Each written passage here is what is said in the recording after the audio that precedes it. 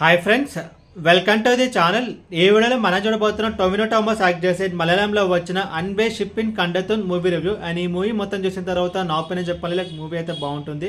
చూడొచ్చు. ఒక మంచి క్రైమ్ థ్రిల్లర్ మూవీ లైక్ ఒకే టికెట్ పై రెండు సినిమాలు లైక్ ఒక్క దెబ్బకి ఇద్దరు పిట్టల్లాగా లైక్ ఒకే మూవీలో రెండు ఇన్వెస్టిగేషన్ కేసులు అయితే ఉంటాయి.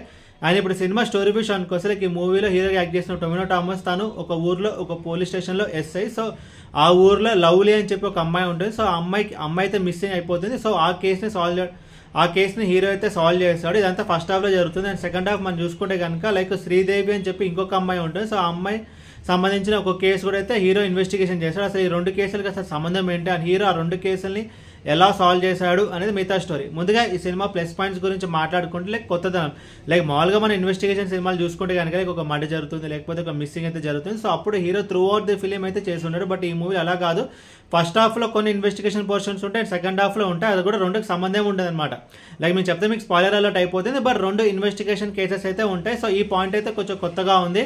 అండ్ ఇన్వెస్టిగేషన్ మూవీస్లో మనం చూడాల్సింది అంటే లైక్ ఇన్వెస్టిగేషన్ పోర్షన్స్ బాగున్నాయా లేదా? సో ఈ మూవీ విషయానికి వస్తే జస్ట్ ఇన్వెస్టిగేషన్ సీన్స్ అయితే వర్కౌట్ అయ్యాయి. అండ్ ఇంకొక ప్లేస్ పోయిందంటే అంటే లైక్ ఈ మూవీలో స్టిక్ టు ద పాయింట్ అనమాట లైక్ ఈ మూవీలో హీరో క్యారెక్టర్ని స్టోరీకే స్టిక్ అయ్యారు తప్ప లైక్ హీరో కోసం అన్నెసరీ ఫైట్ పెట్టడం లైక్ ఇంట్రో సాంగ్ పెట్టడం అండ్ హీరోకి ఒక లవ్ స్టోరీ పెట్టడం లేకపోతే ఒక ఫ్యామిలీ పెట్టడం లాంటి ఏం చేయకుండా లైక్ టువర్డ్స్ ది పాయింట్ అయితే స్టిక్ అయ్యారు. అండ్ ఫస్ట్ హాఫ్ బాగుంటుంది but at the same time second half కూడా బాగుంటుంది. అండ్ ఇంకొక ప్లేస్మెంట్ లైక్ ఈ స్టోరీ మనం చూసుకుంటే కనుక లైక్ మొత్తం నైంటీస్లో జరుగుతుంది. సో దాని దగ్గర నైన్టీన్ నైన్టీ త్రీలో ఏమో జరుగుతుంది. సో దాని తగ్గట్టు లొకేషన్స్ ఏంది బాగానే చూస్తారు. టెక్నికల్ డిపార్ట్మెంట్ విషయానికి వస్తే బ్యాక్గ్రౌండ్ స్కోర్ బాగుంది అండ్ సినిమాటోగ్రఫీ బాగుంది. అండ్ రెండు ఇందాక చెప్పండి లైక్ రెండు హాఫ్లు అయితే బాగుంది. లైక్ ఫస్ట్ హాఫ్ బాగుంటుంది అండ్ సెకండ్ హాఫ్ బాగుంటుంది.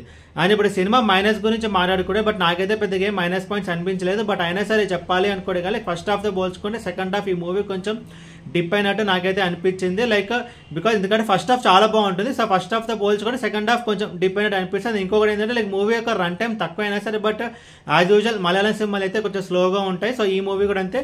మనకి కొంచెం స్లోగా ఉన్నట్టయితే అనిపిస్తుంది బట్ రన్ టైం కూడా తక్కువ decent run time and overall ఈ సినిమా గురించి చెప్పాలంటే మూవీ అయితే బాగానే ఉంటుంది చూడొచ్చు. అండ్ ఈ మూవీకి నేను ఇస్తున్న rating three out of five ఒక మంచి డీసెంట్ క్రైమ్ ఇన్వెస్టిగేషన్ మూవీ ఏ కూడా మీకు నచ్చితే అనుక లైక్ కొట్టి షేర్ చేసి మీ ఫ్రెండ్స్ సబ్స్క్రైబ్ చేయించండి. మీకు ఇంకేమైనా వేరే సినిమా రివ్యూస్ కావాలంటే కింద కామెంట్ బాక్స్లో కామెంట్ చేయండి. Thank you